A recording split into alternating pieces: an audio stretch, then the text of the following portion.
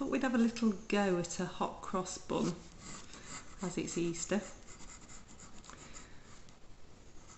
So I'm just going to sketch an oval top,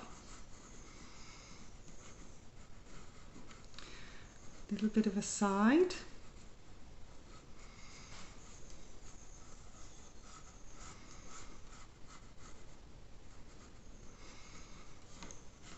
follow that round and pop a cross on so I'm going to arch that over.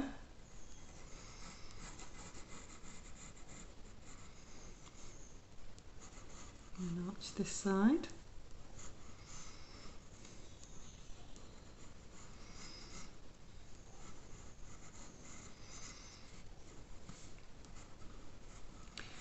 And then we'll have a few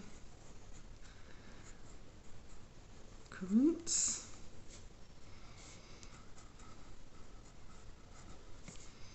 on there as well. So I've got four colours here, just a dab of each colour, raw sienna, burnt umber, ultramarine blue and rose madder. That's what I'm going to use there. So I'm going to come on to the base of the hot cross but I'm minding the cross. I'm going to leave that dry. This is a little bit of water going on.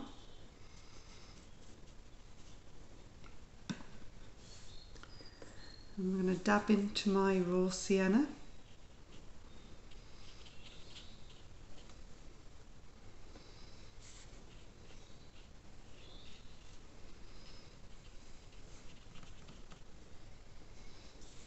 Just dabbing this on.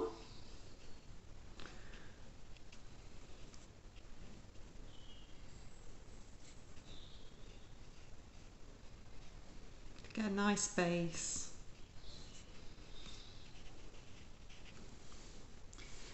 I'm going to dab into the rose madder. Just take a little bit on to give a little bit of warmth.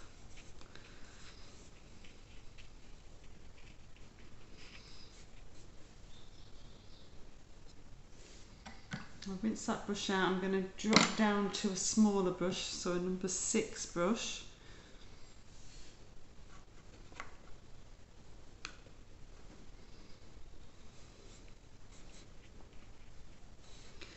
I'm going to start to come in with the burnt umber.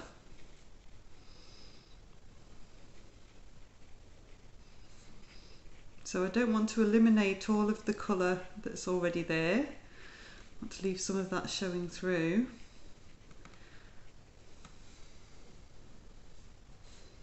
Still nice and wet. I've still got plenty of time.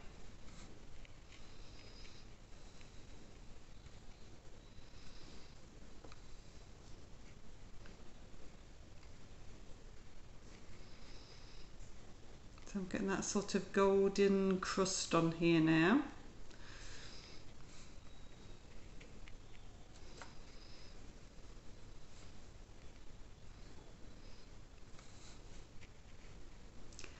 Going to put the direction of the light coming this way. So whilst I'm thinking about that, I'm thinking about shadow. So this is a little bit of the ultramarine blue, so I've dabbed into that as well. I'm just going to start to darken this side.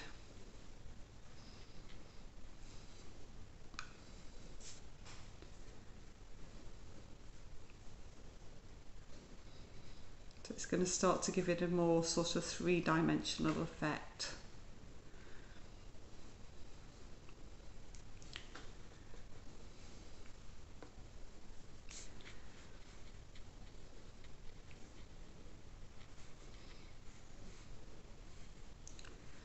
Make it a little bit darker around that bottom edge as well.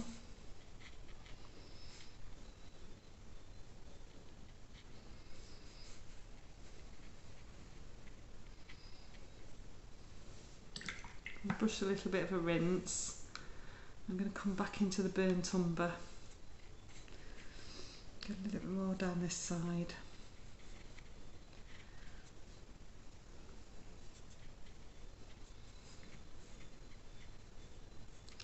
I tonally don't want it to look too different. Okay, so I've rinsed my brush out and then I've taken the excess water off I'm just going to lift a little bit more light back out of here. So with a damp brush you can lift out a little bit. I just don't want that to be too dark down that side. Then if you want to lift out any additional light here, you can do. I have left quite a lot of light, but it's just showing you if it goes too far, you can control it and take a little bit back out. Just need a bit of tissue and a clean damp brush. Same with if I wanted to take a little bit just here, look. Take a little bit out.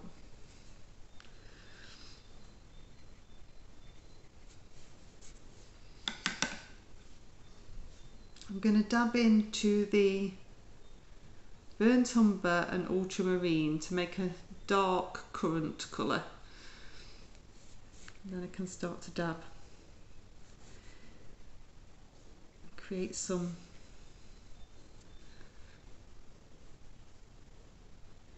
currants on here as well.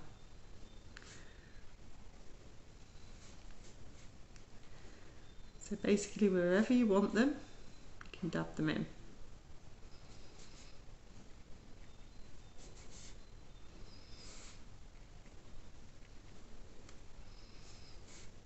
Think random.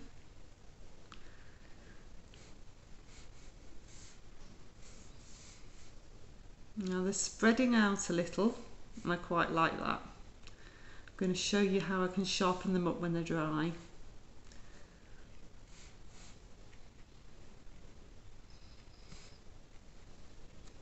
Some different sizes, different shapes.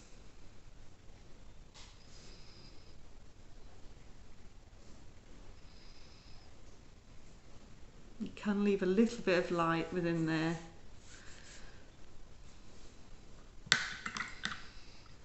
Okay, I'm going to dry that one off. Dry now.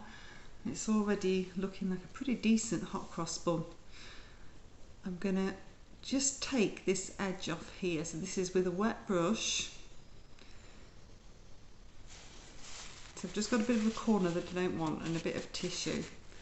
And I'm just going to just agitate the brush on the surface and because the paint's dry it will start to lift. It's just a bit too sharp that edge. Okay, so if I now wet into the cross.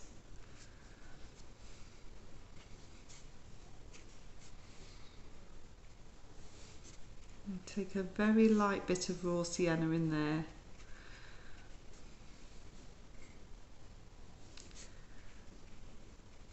Just so it's not totally white.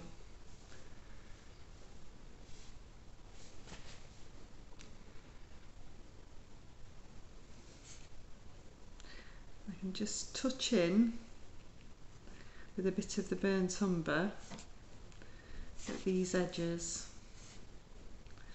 Just going to take a little bit through there, just you might have a bit of shadow. Just with a damp brush, just soften that in. It's just anchoring that to the surface of the hot cross bun really. And swap back up to my bigger brush. So the direction of the light is coming this way, which means our shadow needs to come in this side. So I'm going to pop some water where the shadow would be. I'm going to dip into the blue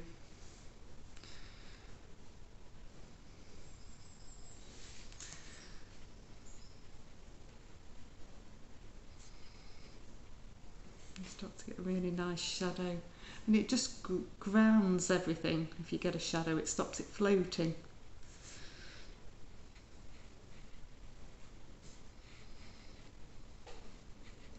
You want that little bit of a dome for the top of the bun.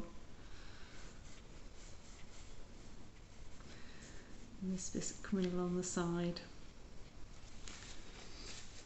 Swap down to my smaller brush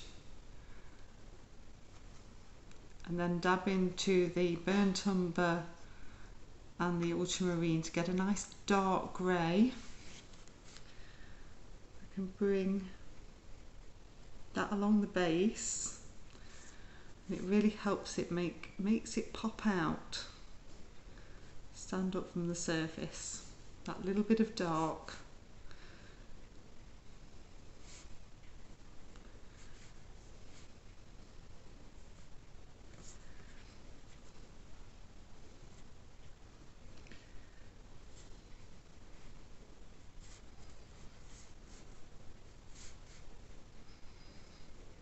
You can see that standing forward now.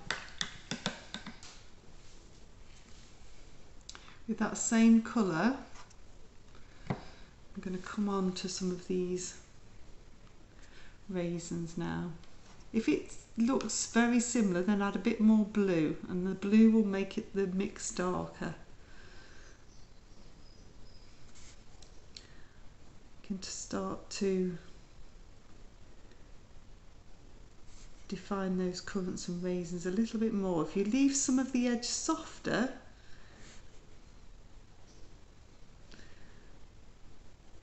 works really nicely. You can leave a really fine highlight. I've got a really light bit there. So this is going on to dry.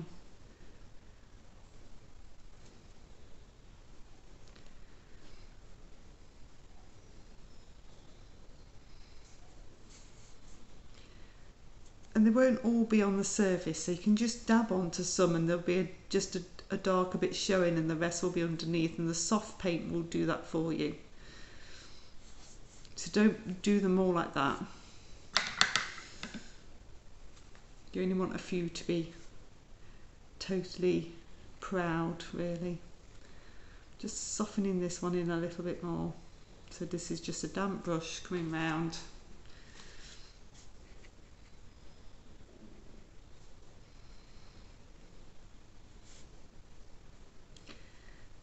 one, two. So with that same colour now, I can pop in any more shadow that I might want. So if I want to help the cross pronounce a little bit, just very finely.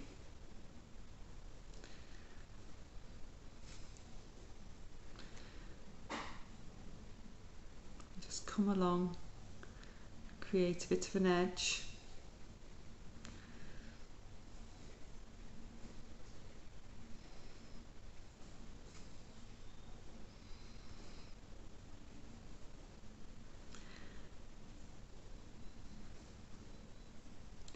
I'm not outlining, I'm adding shadow. What you then do is with a wet brush, just touch that colour on that one side and just move it to soften it in. Just so it's not quite as sharp, then it doesn't look like an outline.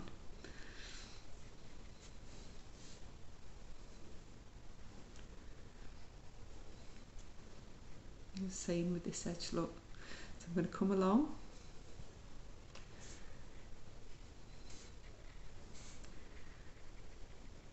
Just define that edge clean wet brush come along the bottom of that edge and just soften it in. Then it gives you that shadow. A few little bits of texture. If you draw with the paint, draw down vertically, you'll start to get that feeling that it is vertical. So I'm just doing little bits down vertically. Then dabbing in, places with a wet brush.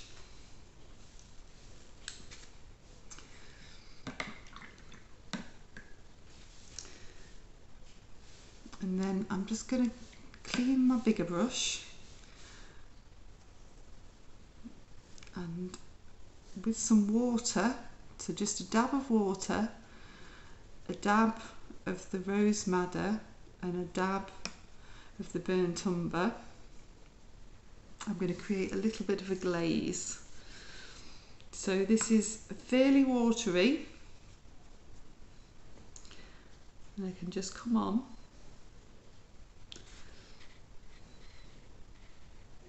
And a glaze is a transparent layer which just gives depth. Just helps connect it all together. So it's very good for adding highlights and shadow. It's very good for connecting everything together. So I'm going to leave a few little bits as highlights. Very good for warming or cooling something down depending on what glaze you use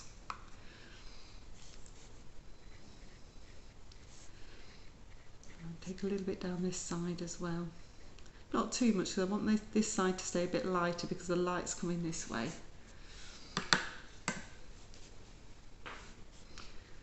And then I'm just going to, with a damp brush, just soften that in because I don't want it to be too harsh a, a highlight.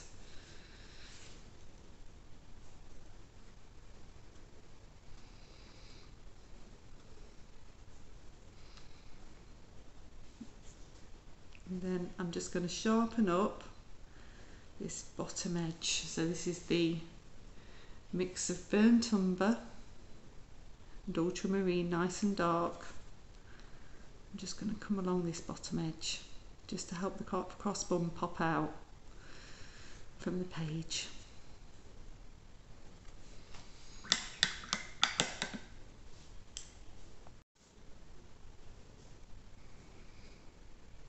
If you want to choose a background colour, you can choose any really. Pop a bit of a background in.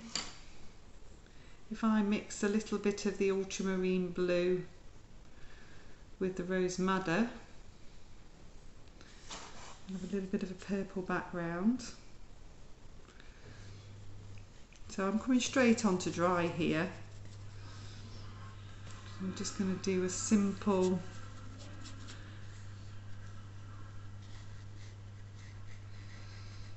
sort of flat background colour just to help the hot cross bun stand out.